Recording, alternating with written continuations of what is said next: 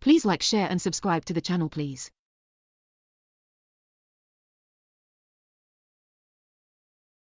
If Mr. Dan gave her lucky money, what would she say to Mr. Dan for giving her lucky money?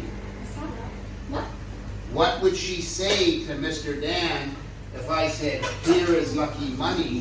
What would she say to me? Come on. Thank you, right? If someone gives you lucky money, you must say thank you, right? Yeah. Come on. Thank you.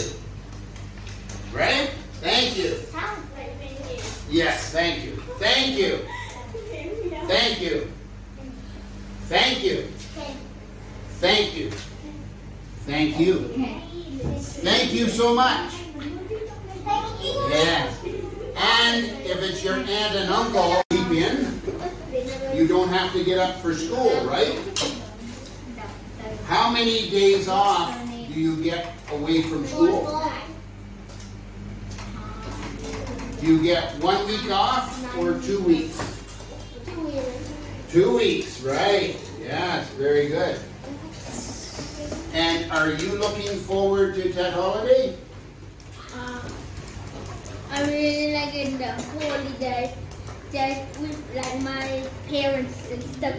It would usually have like my favorite cousin like Bong, who like home, home and like girl. Yeah.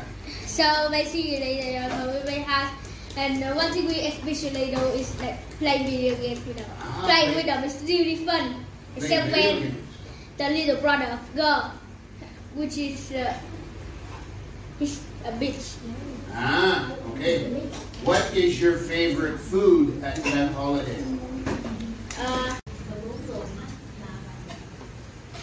That's hard to think. There's so many things you could buy, isn't there?